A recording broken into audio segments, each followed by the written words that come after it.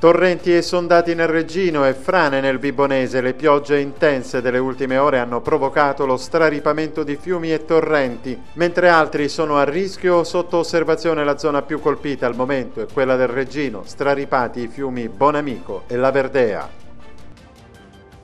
Estorsioni con metodi mafiosi durante il lockdown con l'operazione denominata Atto Finale. Polizia, Carabinieri e Guardia di Finanza di Brescia hanno arrestato 15 persone contigue alla criminalità organizzata di stampo ndranghetista. Il vertice del gruppo sarebbe il calabrese Vincenzo Facchineri, membro di una storica andrina della provincia di Reggio Calabria.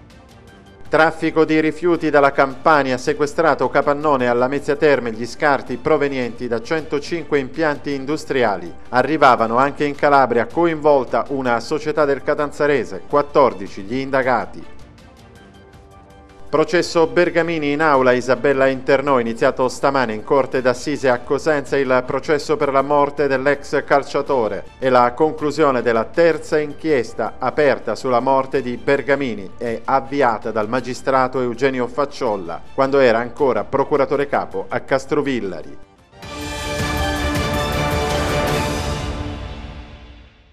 Buonasera, nuova edizione del nostro telegiornale in apertura, lo avete sentito dai titoli del sommario, le difficili condizioni meteorologiche vissute dalla nostra eh, regione nel corso delle ultime ore. Le piogge intense hanno infatti provocato lo straripamento di fiumi e torrenti, mentre per altri eh, c'è una costante osservazione, un'attività di monitoraggio.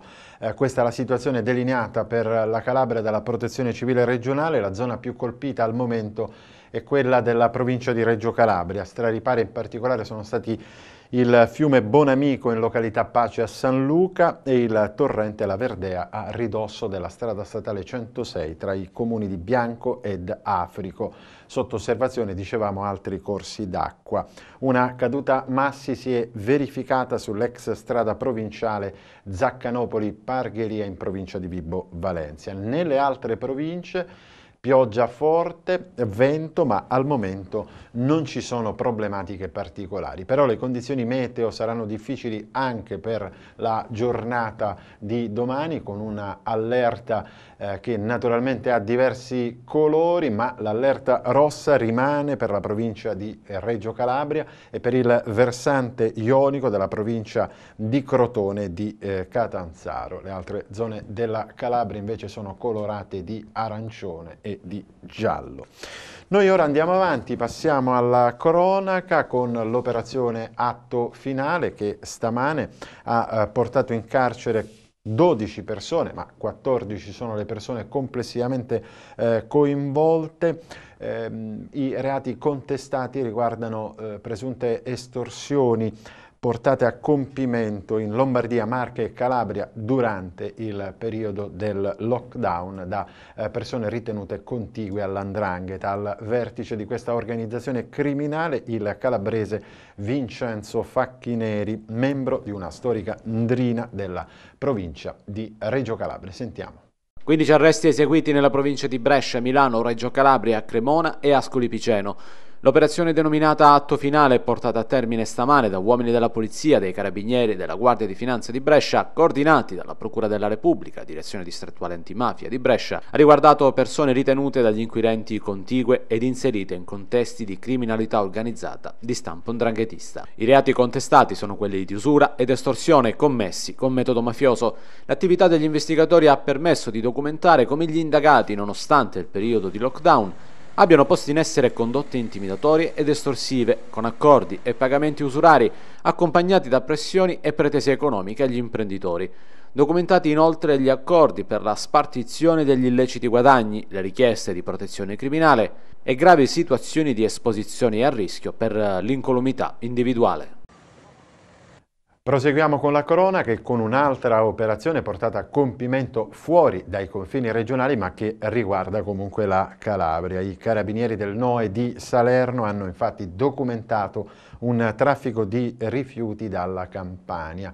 Gli scarti di ben 105 impianti industriali arrivavano anche in Calabria. 14 gli indagati, coinvolta una società della provincia di Catanzaro, sequestrato un capannone di circa 1000 metri quadri alla Mezzia Terme. 14 indagati, 5 persone colpite da una misura interdittiva, il sequestro di un impianto di recupero rifiuti, di 5 autocarri e di 430.000 euro. Sono questi i numeri dell'operazione portata a compimento stamane dai carabinieri del NOE di Salerno, che hanno accertato un vasto traffico di rifiuti, organizzato dai responsabili di un noto impianto di recupero della provincia.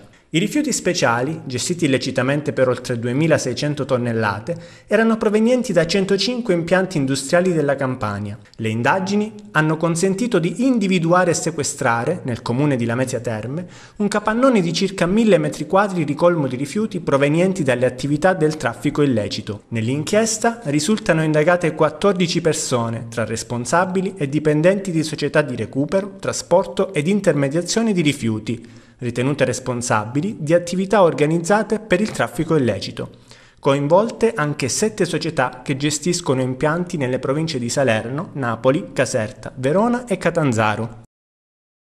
Ed un incidente mortale è avvenuto sulla strada statale 107 nei pressi del bivio Cotronei in provincia di Crotone. L'impatto è avvenuto tra una smart ed un autocarro che ha terminato la propria corsa al di là della sede stradale. Il conducente della vettura in seguito all'impatto è deceduto sul colpo, mentre il conducente dell'autocarro è stato affidato alle cure del personale sanitario e trasportato in ospedale. Sul eh, posto sono giunti il magistrato di turno, gli agenti della polizia e i vigili del fuoco per il recupero della salma e la messa in sicurezza dei veicoli e del sito stradale. Accertamenti sono in corso per stabilire l'esatta dinamica del sinistro.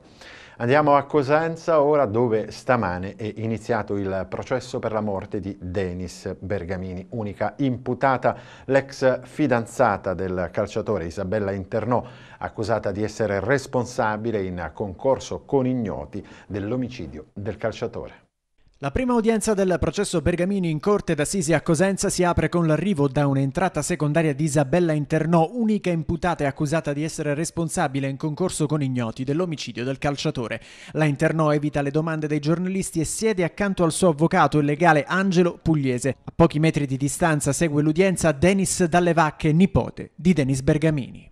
E quindi rabbia perché, ripeto, era un caso semplicissimo dove ci si poteva arrivare tranquillamente il giorno dopo e invece siamo qui dopo 30 anni per fortuna con un cadavere che dopo 30 anni ha parlato. L'avvocato pugliese avanza richiesta di nullità della riapertura del procedimento. Dopo la Camera di Consiglio il giudice Lucente respinge le eccezioni difensive. Non ho mai pensato ad una chiusura immediata del processo, confesserà a fine udienza l'avvocato Anselmo che difende la famiglia Bergamini. La verità la, la conosciamo tutti, però ancora qui dentro non è entrata. Adesso finalmente insomma, faremo questo processo. Quello sulla morte dell'ex calciatore del Cosenza è un procedimento che giunge alla fase dibattimentale dopo 32 anni e per l'avvocato Anselmo presenta numerose analogie con il caso Cucchi, un riferimento che in aula ha scatenato l'immediata reazione della difesa. Nel processo Cucchi avevamo trovato un radiologo di fama internazionale, il professor Masciocchi, che, che ci ha fatto scoprire, interpellato da noi, che la famosa vertebra di L3 era stata tagliata in due, la parte diciamo, veramente fratturata che invece veniva negata dai periti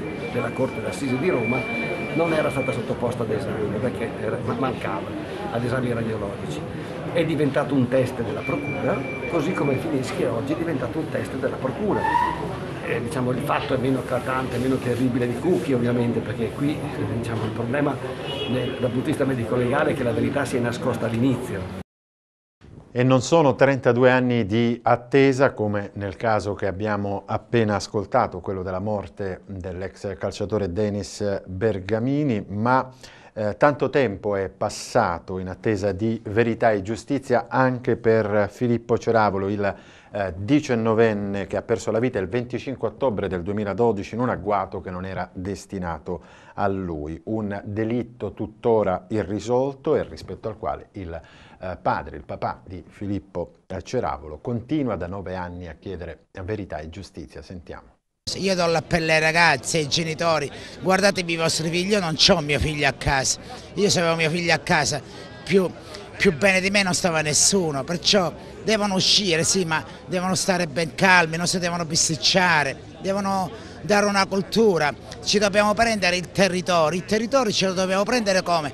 Cominciare da loro, sono loro il futuro. Io mi appello su tutte delle cose, ma io non ho la bacchetta magica, io per me farei tutte le cose per i ragazzi. Come sapete chiedo la giustizia da nove anni, non ho avuto giustizia, ci credo, spero che stanno lavorando e spero di dare una risposta nel territorio dove ci sono stati tanti, tanti omicidi, purtroppo quello che interessa l'omicidio di Filippo Ceravolo, che purtroppo l'omicidio non, non c'è stato gli arresti fino adesso, nessun fermo e non niente. E, e, questo è un fatto grave, che purtroppo la gente, tutto qua stasera mi stanno chiedendo sempre la stessa cosa. E mi auguro ai ragazzi di cambiare e prenderci le piazze, la piazza di Vibo. Il tenente colonnello Raffaele Giovinazzo, ufficiale a capo del nuovo reparto territoriale dei Carabinieri di Corigliano Rossano, costituito lo scorso 13 ottobre, ha incontrato i giornalisti. Sentiamo. È sicuramente una realtà impegnativa sia da un punto di vista lavorativo che da un punto di vista eh, diciamo, del, dell'impegno che ci dobbiamo mettere. Eh, non ho eh, avuto diciamo, impressioni negative, anzi tutt'altro, ho visto la gente molto aperta, eh, molto disponibile. Questo nuovo modello organizzativo è un modello organizzativo molto più diciamo, tra virgolette, snello rispetto ad altri. C'è stata, chiaramente c'è stata una riorganizzazione generale, non, non si può fare un paragone rispetto al passato perché noi abbiamo perso delle stazioni che sono passate sotto la compagnia di Castrovillari, di, di Cassano allo Ionio, per cui diciamo, c'è un, un, sicuramente un, eh, questo è un nuovo dispositivo, diciamo, possiamo dire così, che ha eh, diciamo, eh, conservato i numeri della precedente organizzazione, anzi rafforzati nella componente investigativa. Ovviamente diciamo, in questa prima settimana c'è stata soprattutto una presa di contatto per conoscere il territorio non, diciamo, e soprattutto per conoscere il personale, perché e devo dire che ho trovato del personale molto motivato, molto diciamo, eh, diciamo, soddisfatto di eh, operare nell'ambito del reparto territoriale e sono sicuro che i risultati non mancheranno. Cambiamo argomento, un'economia più giusta a partire dai piccoli borghi e questo è il senso del piccolo festival della microfinanza conclusosi a Fiumefreddo Bruzio in provincia di Cosenza. Il festival è stato promosso dall'Istituto di Studi e Ricerche Sociali Armanno Gorrieri e realizzato con il supporto dell'Ente Nazionale per la Microfinanza, la Fondazione Carical e la BCC Mediocrati con eh, considerazioni ed approfondimenti che hanno riguardato anche l'impiego delle notevoli, cospicue risorse che arriveranno. Sentiamo. Ma eh, la caratteristica di questo nostro paese, dell'Italia, è che eh, quasi ogni cosa che andrebbe fatta da qualche parte già la stiamo facendo e le imprese sociali, il, set il settore dell'organizzazione di cittadinanza attiva, me lo lasci dire così, è all'avanguardia di queste. Cosa non riusciamo a fare? Non riusciamo a, a trasformarle in sistema. Non trasformandole in sistema, il sistema è, è, è un passo indietro, è conservatore, cioè rischia di far arrivare i soldi, adesso che ce ne sono tanti sui territori, con una modalità antica. E allora che cosa bisogna fare per cercare di, di influenzarlo? Bisogna evitare che i soldi arrivino come gocce separate le une dalle altre, magari nella stessa città, dove fare un intervento sui bambini, un intervento di trasferimento tecnologico, un intervento sulla cultura, un intervento sugli anziani, e, e, e i quattro interventi sono disintegrati, sono separati fra di loro. No, bisogna rovesciare, il territorio deve avere, e le organizzazioni di cittadinanza, le imprese sociali, insieme alle imprese private, e insieme quando hanno un referente pubblico di qualità, un sindaco, un amministratore comunale, un consigliere o una consigliera comunale forte, avere il coraggio di osare, di avere una visione di quel territorio, a lunga, questo è il salto da fare. Andiamo alla Mezzia Terme dove i giovani del Partito Democratico hanno ragionato sulla passata campagna elettorale regionale, mettendo a fuoco le cose che sono andate bene e quelle che evidentemente non sono andate per il verso giusto. Con i giovani del Partito Democratico che rilanciano la necessità di un investimento per il centro-sinistra per quanto riguarda l'utilizzo dei social media e poi sulla necessità di investire sulle risorse del partito. Sentiamo. Eh, la destra utilizza tutti i social, dai più conosciuti come Facebook ai più sconosciuti come Reddit, che è un social dove la destra va forte. Quindi io penso che noi dobbiamo essere in grado di metterci in tutti questi ambienti e dobbiamo farlo però portando le nostre idee senza, come abbiamo fatto fino ad ora, tentare di inseguire la destra, quindi facendo post opportunistici o comunque pieni di allarmismo. Parte dall'auspicio di un più corretto e sistematico uso dei social media, l'analisi che alla Mezzia Terme i giovani del Partito Democratico hanno fatto di una campagna elettorale con poche luci e molte ombre. Siamo poco coinvolti, dicono i giovani esponenti Dem, a differenza di quanto accade in altri contesti territoriali. Il partito che immaginiamo è più aperto e più inclusivo, più al passo con i tempi e con organismi democraticamente eletti e magari capace di puntare sulle risorse che ha il proprio interno. Il Partito Democratico ci è riuscito anzitutto perché ha candidato due persone che sono, mm, come dire, sono due persone che hanno anche loro le spalle larghe, bisogna dirlo.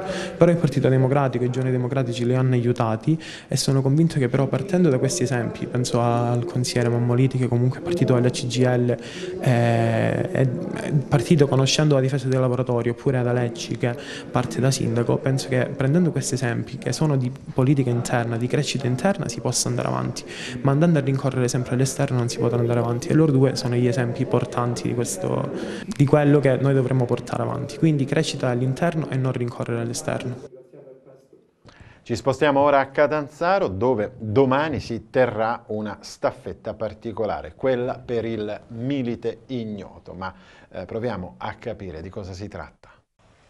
Questa iniziativa nasce eh, nell'ambito del Comando delle Forze Operative Sud di Napoli e eh, vuole in qualche maniera celebrare, ricordare, commemorare quello che accadde cento anni fa, cioè la traslazione della salma del milite ignoto nel sacello che è posto all'altare della patria. Questo avvenne esattamente nel 4 di novembre del 1921, sono trascorsi cento anni e si vuole in qualche maniera eh, ricordarlo e per ricordarlo, per celebrarlo si è pensato di realizzare una staffetta continuativa di 24 ore nella quale correranno militari del Comando Militare Esercito, militari del secondo Reggimento Aviazione dell'Esercito di Lamezia Terme e eh, personale eh, dell'Associazione Ranfor Catanzaro.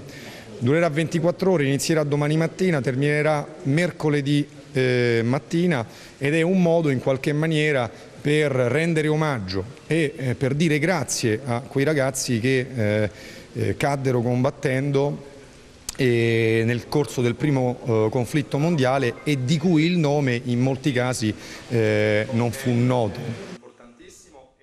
Era questo di fatto l'ultimo argomento passato in rassegna per questa nostra edizione del telegiornale, ma c'è ancora spazio per una notizia che riguarda la nostra categoria. Giuseppe Soluri è stato infatti confermato per il prossimo biennio alla guida dell'Ordine dei giornalisti della Calabria alla fine della tornata elettorale che si è conclusa domenica al Presidente Soluri. L'augurio di buon lavoro da parte della nostra redazione. Ora è veramente tutto, mi fermo qui.